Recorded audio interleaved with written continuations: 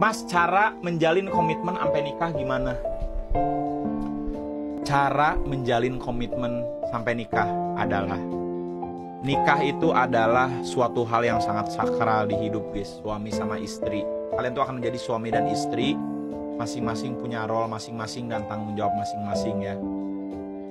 Jadi komitmen itu tidak bisa oleh dengan satu orang, tapi dua orang, kedua sisi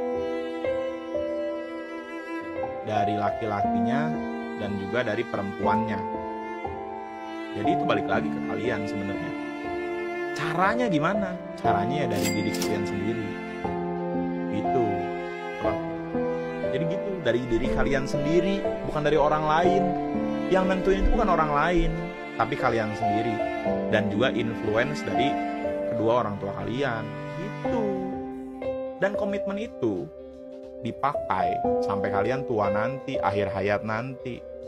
Pas, pas mau agama apa pun kalian, benerin kalau gue salah ya. Yang ditanya apa? Komitmen. Apakah kamu yakin? Saya ABCD, saya menikah dengan ini, bin ini. Kalau nggak salah agama lain juga gitu ya. Apakah kamu siap menjadi suaminya, istrinya? Itu namanya komitmen caranya dari diri kalian sendiri berdua yakinin masing-masing gitu. Bener. Gitu guys ya.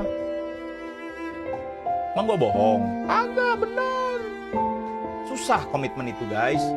Komitmen itu adalah yang paling susah guys. Bener.